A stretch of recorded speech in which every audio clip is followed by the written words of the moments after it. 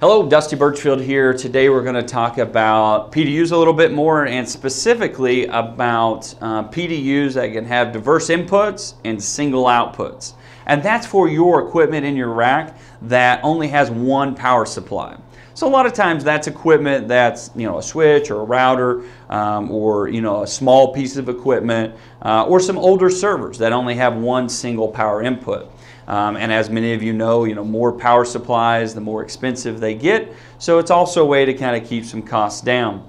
So what we're talking about is a automatic transfer switch PDU.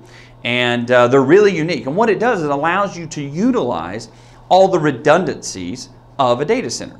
So data centers should have an A and a B power feed, um, and those should be in line with a UPS. So what happens? So this, uh, say this is your ATS PDU. Um, you, you can plug your single source power equipment into this outlet.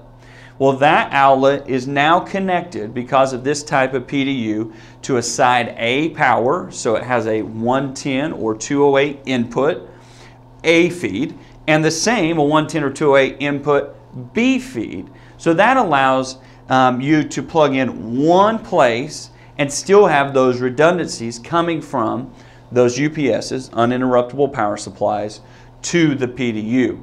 Now, your data center's got to have two UPSs, they've got to have diverse power supplies to be able to utilize this, but allows you to keep your costs down in the type of equipment you buy or utilize some of that older equipment that you wouldn't be able to utilize in a traditional A and B PDU solution.